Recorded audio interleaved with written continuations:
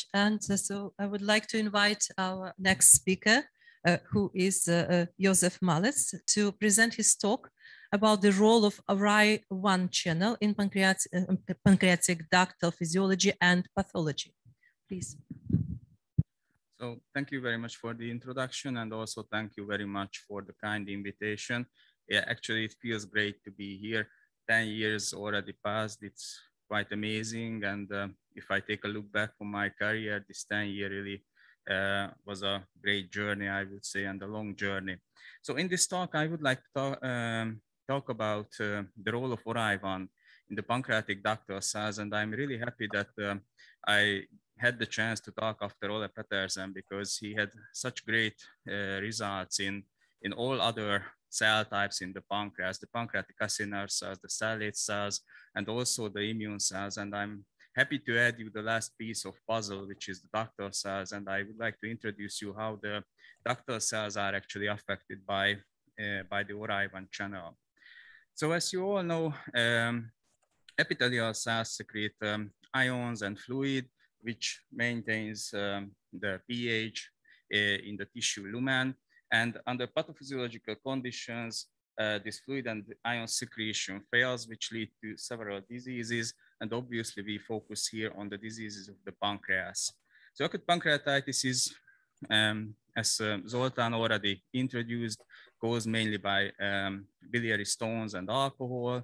And it has a really high mortality, which urge us to, to figure out how to treat this uh, disease. So um, uh, I, uh, I started to study the pancreatic ductal epithelial cells early on um, as a young PhD student.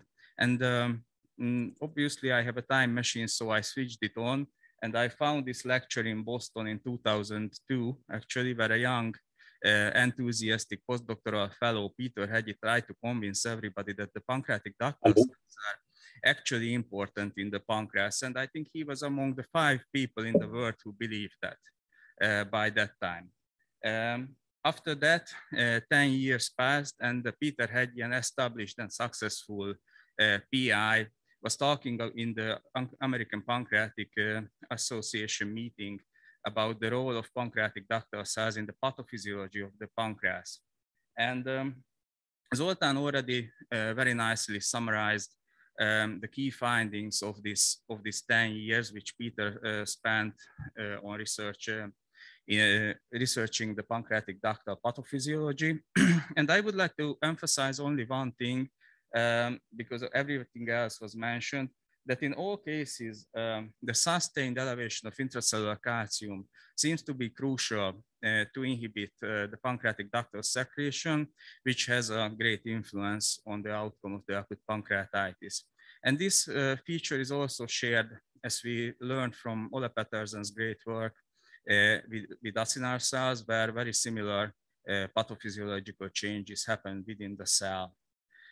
So we started to focus on, uh, on the ORAI1 uh, calcium channel, um, obviously because Ole Petersen's group, Julia and, uh, uh, and Oleg uh, showed very elega elegantly that when you inhibit the ORAI1 channel in pancreatic acinar cells, you are able to, to stop the sustained elevation of intracellular calcium and also prevent the necrosis of, of the pancreatic acinar cells. So this suggests that you can somehow uh, break this um, vicious cycle, break this uh, uh, this this pathophysiological curve, and you can maintain the cell function. And in a follow-up study, David Criddle uh, and Robert Sutton and the Liverpool group also showed that when you administrate this ORAI1 inhibitor to uh, mice with acute pancreatitis in several models, you can actually decrease the disease severity but uh, we have no idea how this affected the ductal cells. We have no idea what ORAI1 is actually doing in the pancreatic ductal cells. So we started to focus on this. And uh, first we investigated the expression of ORAI1 channels and store-operated calcium entry proteins in the pancreatic ductal cells, also from mice and from humans. We grow human organoids uh, for that reason, and we did a whole transcriptome sequencing. And as you can appreciate, um, ORAI1 channel is expressed in uh, also in mice and also in humans. And with immunostainings, we localize the ORAI1 channel on the apical membrane of the pancreatic ductal epithelial cells. Um, the first su surprise came when, um, when we administered the specific ORAI1 inhibitor to unstimulated resting pancreatic ductal epithelial cells, and we saw a drop in the intracellular calcium, uh, which actually suggested us that this ORAI1 channel somehow, without any stimulation, uh, could be active in this cell type. Uh, when we knock down uh, ORAI1 or STIM1 components of the store-operated calcium entry um, in ductal cells, uh, this, um, this spontaneous calcium influx disappeared and also the basal calcium of these cells decreased, suggesting that ORAI somehow maintains um, at least partially the basal calcium in pancreatic ductal epithelial cells, which is a clear difference from acinar cells where this cannot uh, be observed. So uh, we uh, try to figure out what actually this um, this ORAI1 mediated calcium channel, calcium influx does in the pancreatic ductal cells, and we did um, colocalization studies with the CFTR, which is um, one crucial uh, channel in the pancreatic ductal secretion. And we found a perfect colocalization of ORAI1 and CFTR on the apical membrane of the ductal epithelial cells. And with super resolution microscopy, we were able also in overexpressed proteins, but also native proteins, we, we were able to show that these channels actually are not just colocalizing on a confocal microscope uh, picture, but they have actually a perfect colocalization, suggesting that these proteins sit uh, within nanodomains in the apical membrane. When we inhibited ORAI1 channel, uh, the CFTR chloride uh, CFTR mediated chloride secretion of these cells uh, was dramatically uh, decreased, uh, suggesting that the ORAI1 mediated calcium influx is really important to maintain CFTR function in ductal epithelial cells. Um, we were curious whether this, um, this phenomenon is only true for mouse pancreas. So we generated organoids from uh, mouse airway, mouse uh, liver tissue, and also from human pancreatic uh, uh, human pancreatic tissue. And uh, we not just found the same organization of proteins on the apical membrane, but we also uh, found the same functional activity of ORAI1. So this constitutive activity of ORAI1 was present in all epithelial cell types. And the inhibition of ORAI1 uh, decreased CFTR activity in each cases. So next we, we wanted to figure out how, how the ORAI1 uh, mediated calcium entry actually uh, uh, regulates CFTR activity. So we focused on adenylyl cyclases, calcium activated or calcium dependent adenylyl cyclases. Uh, and we did again a colocalization study with, uh, with super resolution microscopy, uh, showing that actually adenyl cyclase 1, 3, and 8, 8 show um, a great uh, high percentage of colocalization uh, with CFTR. And when we knock down these adenyl cyclases, obviously the CFTR activity decreases. And uh, we were also able to show the same colocalization with ORAI1 uh, with adenyl cyclase 1, 3, 8, and also with uh, tricolor storm tech, which is quite challenging, we were able to localize these proteins within the same nanodomain of the cells. So, um, so to summarize this part of the, this is the physiological uh, part, uh, we found a constitutive calcium influx in pancreatic ductal cells without any stimulation, uh, which actually uh, creates a high calcium nanodomain around the CFTR, which by, uh, by the activity of calcium activated adenyl cyclases is is turned into high cyclic AMP nanodomain, uh, which regulates CFTR activity. We also did uh, studies to figure out actually what is the mechanism why is ORAI1 constitutively active.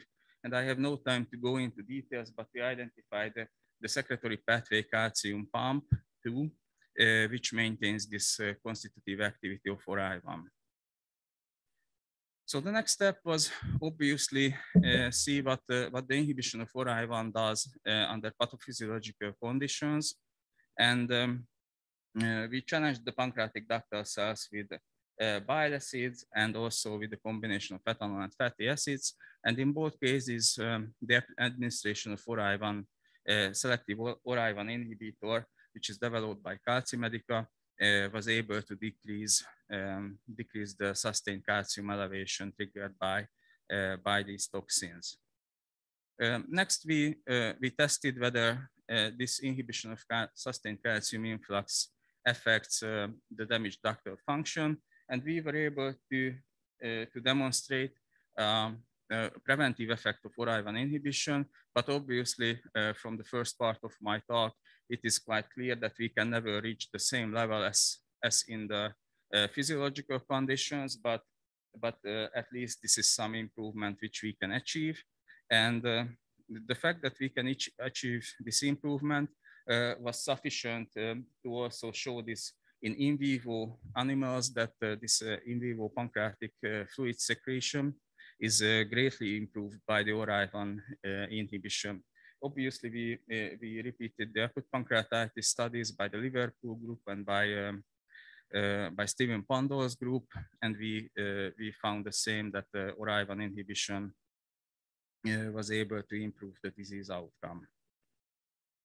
Uh, so to summarize the acute uh, pancreatitis uh, part, um, we show that calcium entry through ORAI1 damages the pancreatic ductal function by inducing mitochondrial damage and the, decrease of, of the, of the uh, ductal ion and fluid secretion. And on the other hand, when we, when we are able to inhibit uh, the, the ORAI1 channel with specific inhibitors, we, are, we can interrupt this, uh, uh, this cycle, maintain mitochondrial function, and also improve the pancreatic ductal uh, pancreatic ductal secretion uh, in in vitro and in vivo models as well. So this actually suggests that not just uh, not just I mean the the last uh, last cell type in the pancreas, uh, in, the, in the exocrine pancreas, the pancreatic ductal uh, epithelial cell function can be also maintained and preserved with with the ORAI1 channel inhibition, suggesting that this could really be the first therapy uh, which can uh, reach some success in, in clinical patients actually. And um, in the last couple of minutes, I wanted to talk about uh, our results in chronic pancreatitis, and I really put just some small hints of, of our actual results because I was thinking that this lecture will keep much longer than this. Uh, so I um, I introduced only the part uh, uh, of uh, our results about CFTR. So basically, uh, you uh, we previously described, we and others as well, that in chronic pancreatitis, the CFTR expression on the pancreatic ductal epithelial cells is actually decreased due to internalization and the decreased expression of the CFTR chloride channel. So we were curious what happens when we uh, when we administrate uh, when we trigger chronic pancreatitis in mice and we administrate uh, the ORAI1 inhibitor uh, during the acute pancreas during the chronic pancreatitis. And uh, we were surprised to see that um, actually the CFTR expression on the apical membrane uh, of pancreatic ductal epithelial cells is restored uh, when we administrate uh, the ORAI1 channel inhibitor during the course of chronic pancreatitis, suggesting that you can improve the function of the pancreatic ductal epithelial cells with this treatment. And indeed, in in, uh, in vitro experiments, we also showed um, that uh, administration of ORAI1 inhibitor actually improves the CFTR function um, in chronic pancreatitis animals, which, which suggests that we would be able to restore uh, ductal function in chronic pancreatitis. Uh, so to summarize this part, um, we can see decreased expression of CFTR on the apical membrane of the in ductal cells during chronic pancreatitis. Uh, but again, uh, with the with the ORAI1 um, inhibition, we could be able to restore the uh, CFTR-mediated uh, secretion of the ductal cells, suggesting that this could be also interesting in, in chronic pancreatitis. So uh, to summarize um, the results of these studies, uh, first we, we observed that constitutive ORAI1-mediated calcium influx maintains CFTR activity under physiological conditions uh, where high calcium nanodomains are translated actually to high cyclic AMP nanodomains. Uh, but under pathophysiological conditions, ORAI1 really acts like Harvey Dent uh, in Batman. And uh, sustain, under these conditions, ORAI1 mediated sustained cal extracellular calcium influx uh, contributes to ductal cell damage uh, during acute pancreatitis, but it also seems to be important in chronic pancreatitis as well. So I would like to thank uh, the contribution of all group members and all collaborators. I would like to uh, highlight Peter, of course, who was um, mentoring my early, uh, during my early steps in pancreatic research, and also Zoltan, uh, and all the other collaborators and current members of my group. Thank you very much for the attention.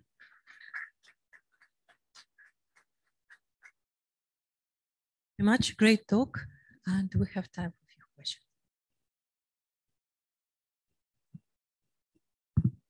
Just a, a, very nice talk, actually. And it is interesting to see that there is a kind of parallelism in a certain respect between the duct cells and the acinar cells. In both cases, you need some calcium influx for the normal function, but too much of it uh, turns it into a different situation. I was just wondering about a small detail on the pharmacology. So you used uh, uh, CM 5480 rather than CM 4620. Yeah. Was there any particular reason for that? Did you compare them? Is the 5480 more effective on the duct cells than the other one? Could you just comment on that? Yeah, so uh, we, we received this uh, pharmacological compound from Calcimedica, uh, with whom we have a collaboration. And this is actually the, the compound they will develop in the future due to better pharmacological uh, properties of this molecule. So it seems to be more stable in vivo. Uh, that's why they, they wanted to test this instead of the previously tested one. So did you compare the two uh, compounds, the 4620? No. no. So you only use the 54 We only use this one. We have other compounds uh, which we which we currently test, but not the previous one. Okay, thank you.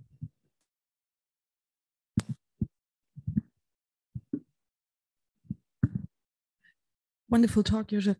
Um, so I've got, say, put it um, a naive question of a, by a clinician. So you said you restored um, or inhibiting ORAI inhibit secretion when we come from the conundrum of acute, treating acute pancreatitis, whether we should actually feed a patient or not feed a patient, we always heavily discussed whether restoring secretion was a therapeutic goal or um, it would be dangerous to the patient. And I think we all agreed on that um, feeding our patient is important. And this is because we restore secretion. So now you're showing us that a compound inhibiting secretion, at least in ductal cells, um, ameliorates pancreatitis. So that's kind of a yeah. um, paradox to me.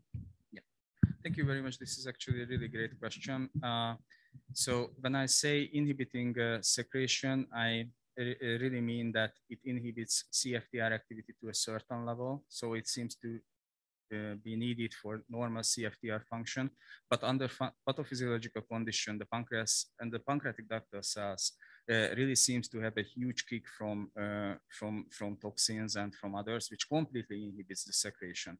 So when you stop uh, the ORAI1 mediated calcium influx, you, you are able to at least reach a certain level of secretion, which is not probably not mediated by CFTR, but could be mediated by other proteins and other secretory proteins, which you maintain. So so on one side, you lose the CFTR activity, or at least partially the CFTR activity, which is, so actually my results, and I was not going into details, uh, but the stimulated CFTR activity, activity is maintained.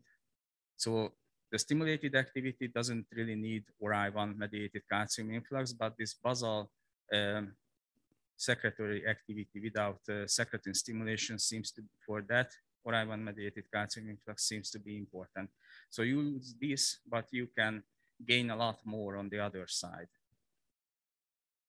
Quick question. Uh, the last experiment with the chronic pancreatitis, don't you think that the effect of the inhibitor is actually through inflammatory cells and not a direct effect on, on the duct cell? Yeah. So again, due to the lack of time, I was not putting all the details. We tested all all different kind of cells in the pancreas. Um, and obviously the immune cells are also affected. Uh, so I, I, I, put this uh, only results to hear about the ductal cells because I've, I found personally interesting that you can actually improve the uh, the CFTR expression in the ductal cells. Obviously, the acinar cell function is restored and the uh, stellate cell uh, function. So the fibrosis is decreased when you administer ORAI1 channel inhibitor, and also the activity of immune cells are decreased. So it, again, what, uh, what Ole uh, emphasized uh, uh, during the discussion that you can hit all different cell types with one molecule, it also seems to be true for the chronic pancreatitis, which is, I think, very important.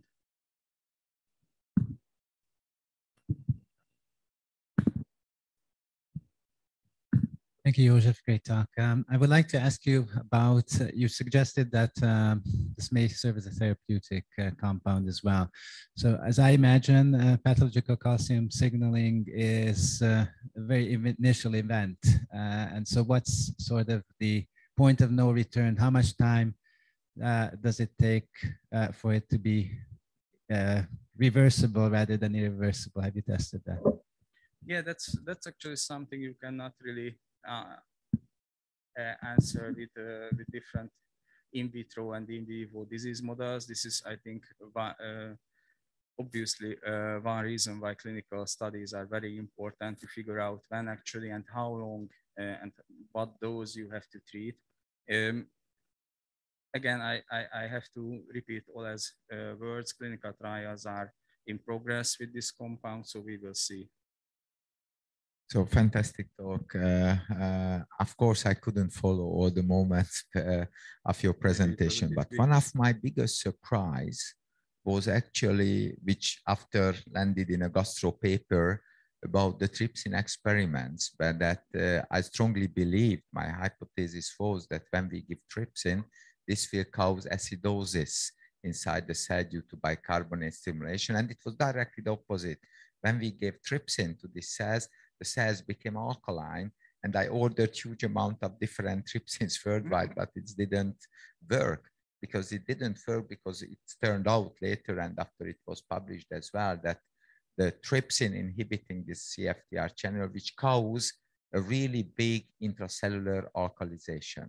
So my question is about these calcium nanodomains, mm. how they react to pH changes because if you would like to have any kind of effect on it, you need to work a little bit in an alkaline condition. So have you tested about the effect of pH on the work of this calcium microdomains? Yeah, this is a great question, especially that a paper was published recently in Journal of Physiology uh, showing that ORAI1 channels are actually calcium, uh, pH sensitive. Uh, so there are a lot of open questions. This is one of them, and I think this is a great suggestion. Uh, well, maybe the very, very, very last one. I saved some time for you. it's just really a comment, uh, Julia Miles' uh, question before. I mean, the fact is that, uh, and it seems a bit mysterious, but the calcium relationship is very uh, complicated. So if you create a few small transient calcium signals, you markedly stimulate ATP synthesis. However, if you create big sustained calcium signals, uh, the ATP production uh, drops completely. And that's why actually there is no contradiction actually in, the, in, in, in the results. It, it, fits perfectly well. But the point is that you must have a kind of physiological level of stimulation and not the excessive one that you see in, in acute pancreatitis. And that's why blocking a little bit the calcium entry actually paradoxically helps uh, in order to sustain the ATP formation. It's an amazing thing, but if you look at the ATP production, the high resolution, you can see you get a kick up in ATP every time there's a short-lasting calcium spike. But as soon as you get a sustained calcium, you get only one spike of ATP, and that's it. And then there's no more uh, metabolism. And now we know that in the absence of ATP, everything begins to deteriorate.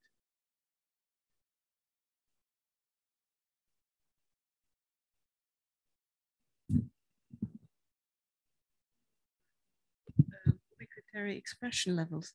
So for example, you mentioned the cardiologist knowing their physiology, reason being because the calcium signaling in the heart is so important in every minute that if we target it because we want to target pancreatitis, My biggest fear are side effects on, for example, the heart and arrhythmias. So, and this is basically when it comes to safety of the um, ORAI um, channel blockers, I kind of fear then that in the situation of volume depletion, which obviously happens in pancreatitis, that we could could really cause harm.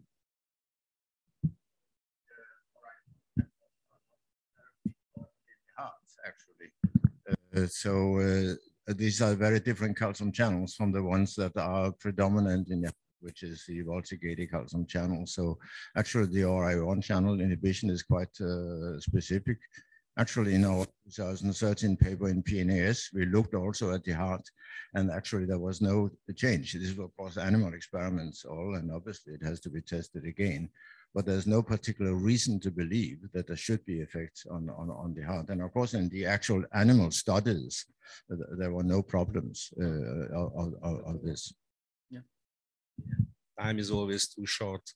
Um, but you see that you, that's a very, very last thing that when you actually, when you block ORAI1, you don't only target, I mean, in vivo, you don't only target the decimal cell, but all the other cells, which, which could be good uh, if, uh, if we accept what, what Ole said, about this that there are many other interplayers actually, but there might be some actually bad side effects on the humans too. So maybe in humans actually that could uh, come up in a different way. But you, you have one final sentence and then we have to go.